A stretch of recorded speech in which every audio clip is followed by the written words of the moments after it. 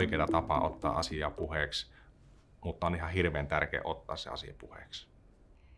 Se mm, naputtamissana, mitä sä käytät, niin, niin en mä tiedä, oliko se aina naputtamista. Että kyllä mä joskus sanoin ihan nätistikin.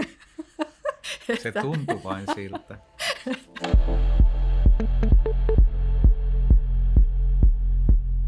Jos nyt ajattelee niin kenen tahansa kahden ihmisen välistä kommunikaatioa, että, että mistä syntyy se semmoinen mm, kokemus, että, että mulla on merkitystä tässä, niin se, että, että se toinen ihminen kuuntelee sillä tavalla, että sä haluat puhua. Eli hän ei tuomitse sinua, mitä sinä sanot, ei mitätöi sun sanomisias, niin sä haluatkin kertoa semmoiselle ihmiselle. Ja sitten vastavuoroisesti, kun hän kertoo, niin sä kuuntelet samalla tavalla tuomitsematta, mitätöimättä sitä aina kun sä esität kysymyksiä, niin silloin sä et syytä.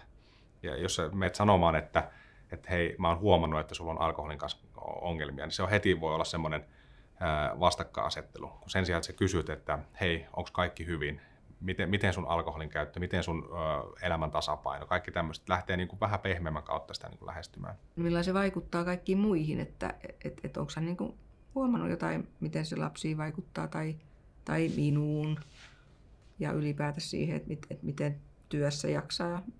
Että sitä, sitä polkua ehkä olisi helpompi avata. Että se, jos se lähtee niin kuin ensimmäiseksi tämmöisen syyttelyyn hyökkäykseen, niin, niin tokihan siinä se toinen sulkeutuu.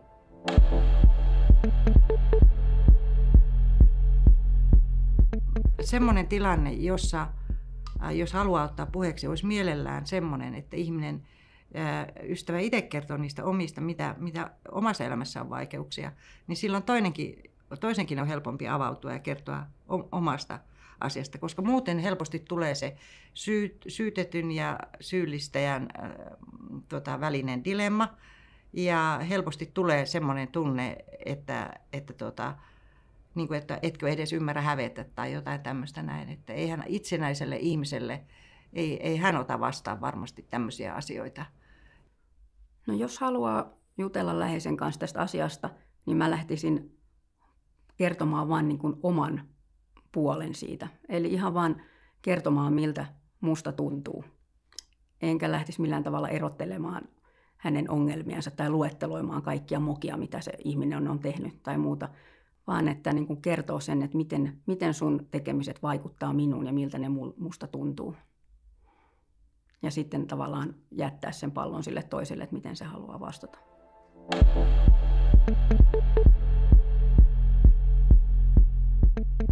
Mutta että tänä päivänä just se, että ne huonot hetket ja tavallaan se, ne omat ratkaisut, mitä mä olisin voinut tehdä, niin kuin, että hei, että mä en hyväksy tätä nyt enää, että mä rakastan sua ja mä välitän susta ja mä oon huolissani susta, mutta mä en, mä, mä en handlaa tätä, että mä en halua, että mun elämä on tällaista ja mä en halua, että meidän lasten elämä menee niin kuin, että se on ehkä se viesti, mitä mä sanoisin nyt eri tavalla.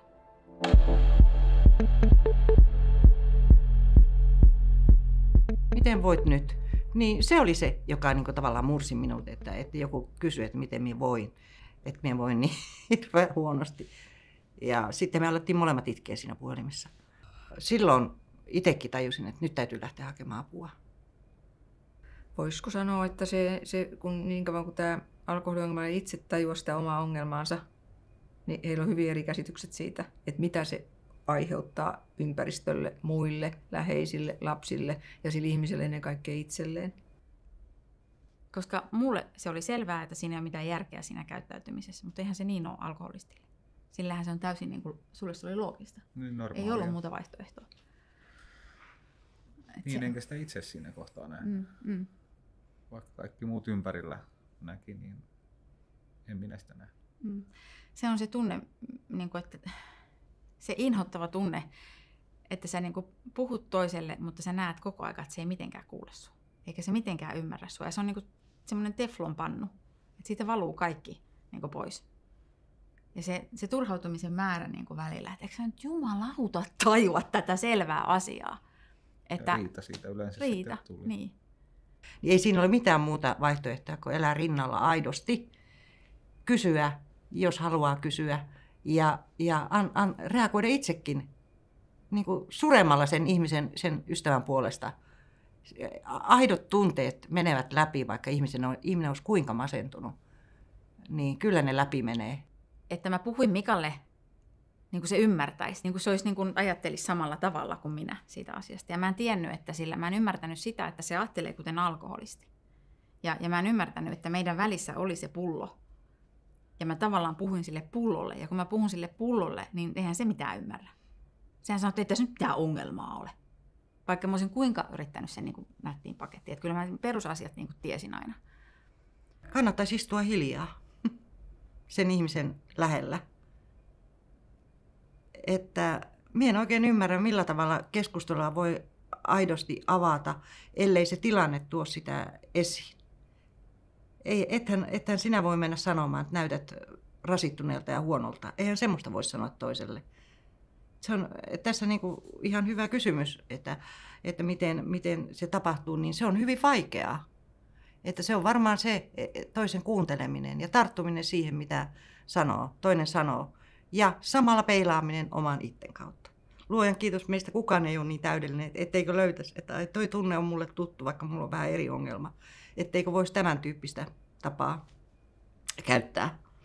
Ja vaikka tämä riippuvainen suuttuu siinä tilanteessa, jopa että tämä suhde katkeaa, niin tämä on tärkeää, että asia tuodaan esiin. Jossain kohtaa hän voi sen muistaa, että ai niin sekin työkaveri silloin jo ilmaisi huolensa. Tai siinäkin parisuhteessa minulle jo sanottiin tästä asiasta. Me ei voida tietää, että koska se muutos tulee, mutta me voidaan vaikuttaa siihen siten, että me kerrotaan, että, että miltä tuntuu, kun toinen käyttää liikaa päihdettä ja miltä se käyttäytyy, mitä se herättää meissä se käyttäytyminen. Jollain tavalla ilmaistaan se huoli ja sitten päästetään irti. Thank you